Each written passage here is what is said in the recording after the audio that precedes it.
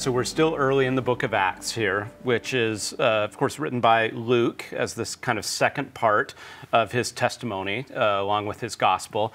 And this is all about, uh, it's exactly what the book title says. This is what the apostles do, the acts of the apostles as they go out to preach the gospel.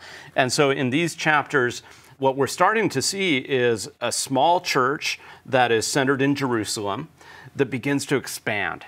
And so it's beginning here that we're going to start seeing the, the church expand beyond Jerusalem into new areas, calling new leaders, bringing in new leaders, especially Saul, who we, will become Paul.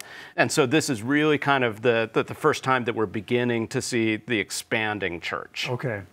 And Charles, with the first topic being aligning my heart with God, where does that come from from within these chapters that we're talking about today? Actually, it comes from the experience of Simon. Okay. When uh, Simon was a new convert to the church, he had a little sketchy background uh, with some sorcery and things, but uh, he joined the church and then he saw the apostles being able to do some wonderful things with the priesthood and thought, I'd like to have that. Can I buy it? and, and that shows that his heart wasn't quite there, which is interesting because Simon's kind of like most of us, and that is our testimony and our conversion is a process. It's not just one thing that happens and then we're baptized and then we're there.